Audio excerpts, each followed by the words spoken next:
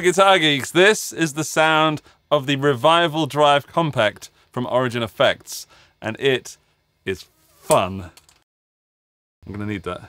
Let's just turn it off for a moment, and you can hear the Fender Deluxe Reverb on its own without the pedal. This is clean.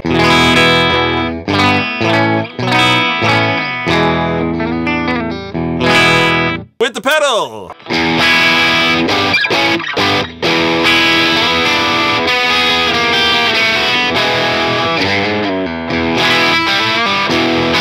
I'll get into details in a moment, but this is one of those pedals that you just want to keep adding a little extra note. Just something just so you can hear that guitar play again.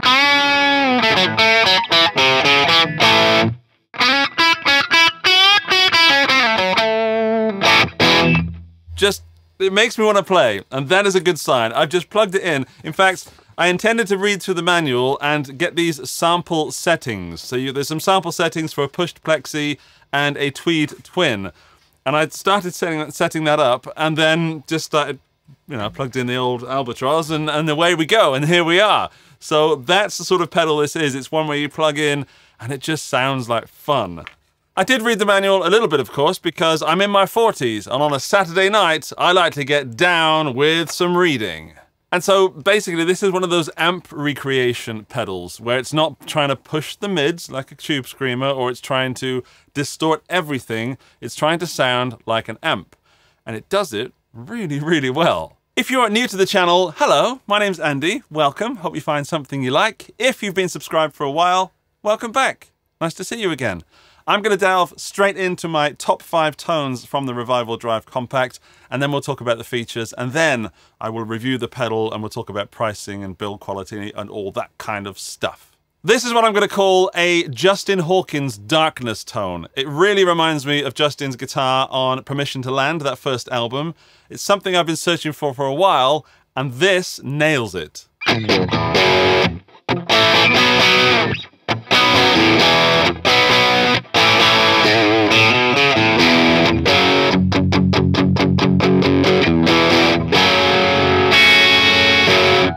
So it's got that chunkiness of that chugging, but it's got that brightness up there.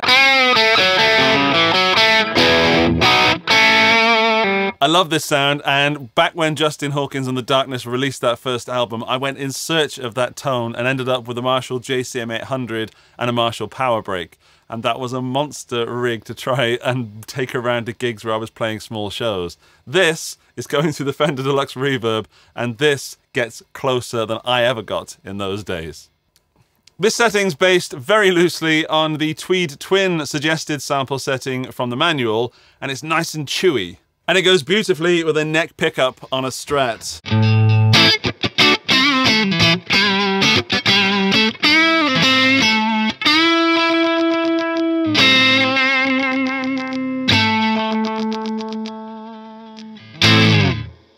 Here's a setting that gives me a more high gain kind of sound. So I'm back on humbuckers and it sounds super fat.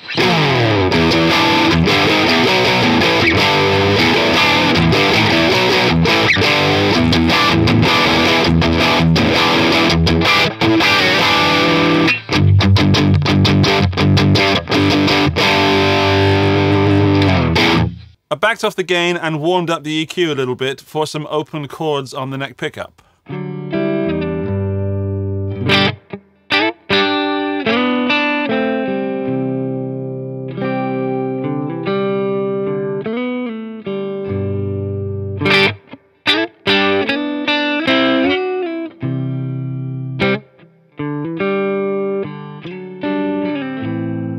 Have to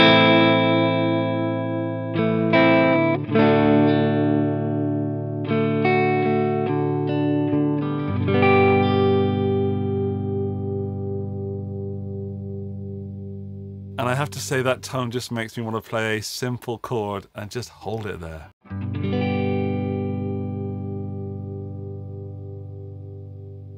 That is the sound of plugging into a really nice amp. And if I turn it off, I'm still playing into a nice amp, the, the Deluxe Reverb.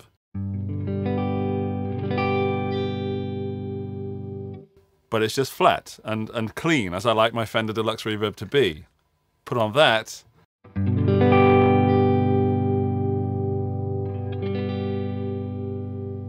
Now, that might not appeal to a lot of people, but to me, just playing a simple G chord and hearing those notes just crunch over each other is, is a wonderful experience. Let's move on to the next one. Here's a setting for some raunchy blues. Strat again, this time middle pickup.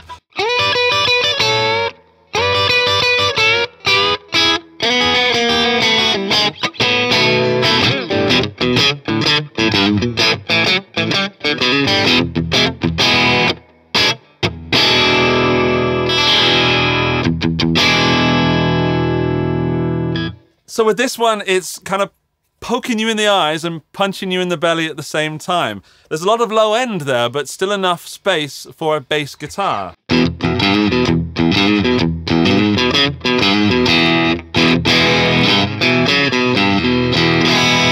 And then up the top, you've got this nice little drivey but not too dirty.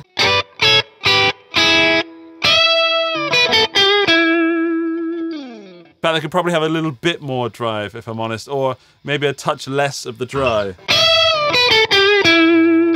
Yeah, so let's get into the controls and talk about how this thing works and what all these knobs and switches do. It's a top-mounted pedal with 9 volts in as well. It needs about 100 milliamps, which is not much at all. It's a drive pedal, so it shouldn't need much. We've got a wonderfully expensive looking and feeling foot switch. It's not clicky. Um, it feels very resistant to the touch, and I don't know if that matters to you, but it feels like you've spent some money, if that makes sense. Then, top left, we've got output, also known as volume. Top right is the gain, then we've got a two-band EQ just here and a presence knob. Then over here is a magic knob called the blend knob. So full this way gives us full overdrive pedal, no dry signal, and full this way gives us dry signal as if the pedal is switched off. We'll talk about these controls in a moment. Let's just test the range of this gain and this EQ. That's the starting position that Origin Effects recommend. It seems a bit quiet. It is, but maybe if you're boosting the gain, you're going to get more volume as well. It still needs to be a bit louder.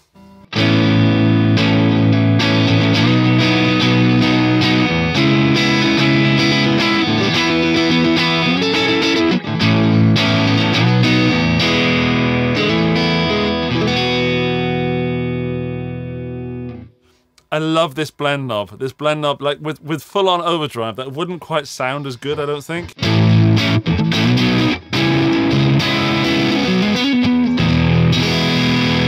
It doesn't. It sounds somewhat cheaper. And then with that in the middle, where we're getting a 50-50, I guess, 50-50 mix of dry signal and uh, overdriven.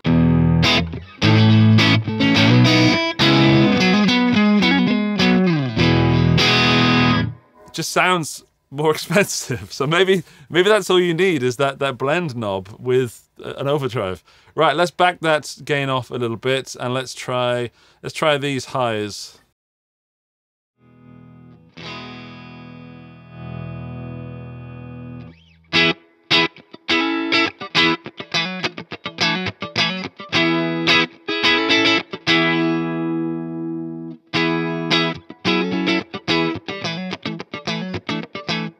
So it sounds more Fendery over in that direction.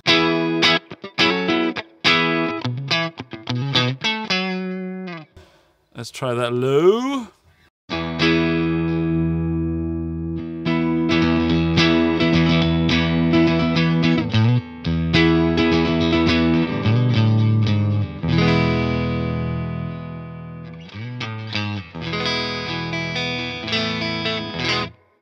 Sounds smaller with the lows down, and then it just sounds more bigger and more Marshally. Let's do. I get. I get that is going to be a sort of a plexi sound.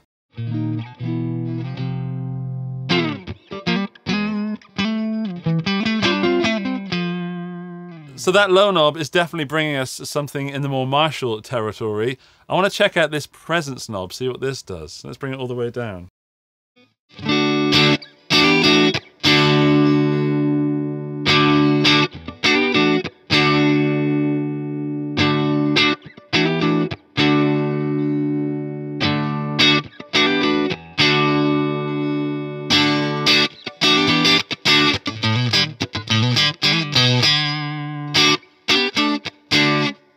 It doesn't do what I thought it was going to do. It didn't do like more area of frequency around 2 and 4K.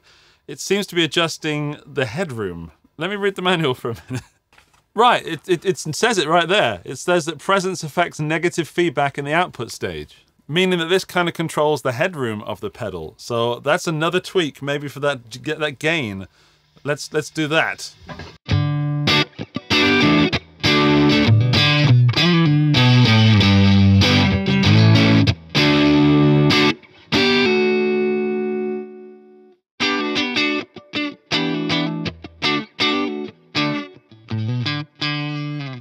Let's move on down to this tiny little microcontrol here, the post-drive EQ controls.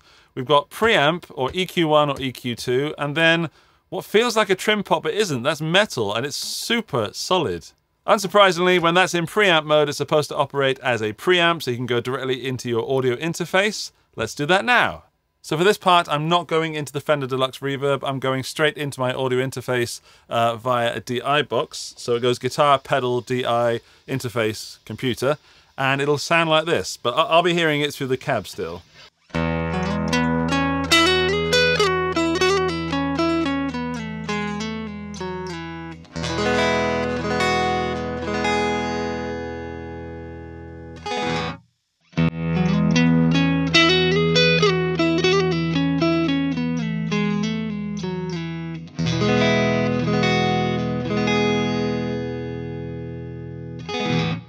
This is what it sounds like to me in the room.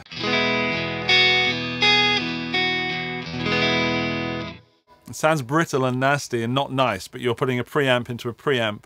And I suppose you could fiddle with the EQ, but why would you? When you have EQ1, which is meant for bright amps, and EQ2, which is meant for darker sounding amps. So I'm going to say that EQ1 is more for use with a Fender amp, and EQ2 is more for use with a Marshall amp. Speaking of which, I have a Marshall style amp, this Victory Sheriff 25. In fact, let's do EQ1 on the Fender, which is what you've been hearing so far.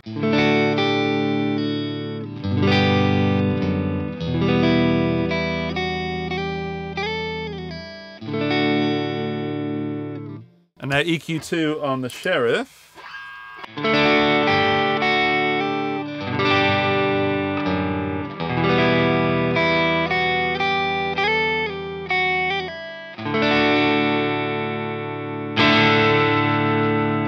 Let's mess around with this, which is amazing fun. I did change it in the top five tones. That's all the way to the left.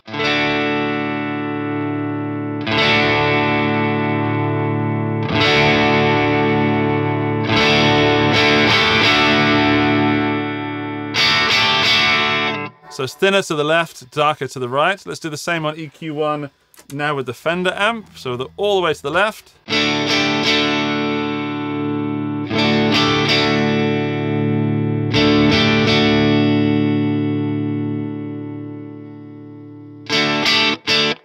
It's a fun pedal. It does. I think it's the best part of this pedal. I think is I had I hate to say low gain, but mid gain mid with this OD and dry blend roughly in the middle. That, that's got to be my favorite setting.